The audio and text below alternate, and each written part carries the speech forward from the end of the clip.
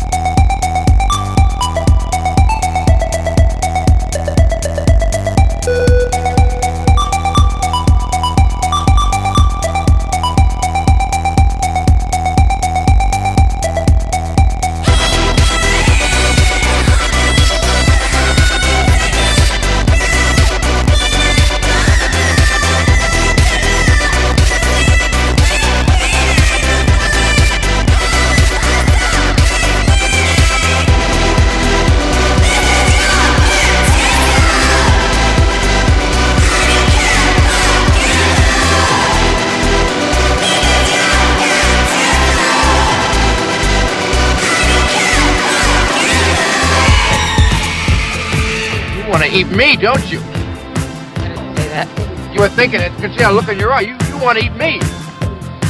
Only for a minute. Moderate feminist. You women's livers are all alike. A couple of days out here in the jungle and you turn into savages. You throw away all that rhetoric about equality and you get down to what you really want. Domination and consumption of men.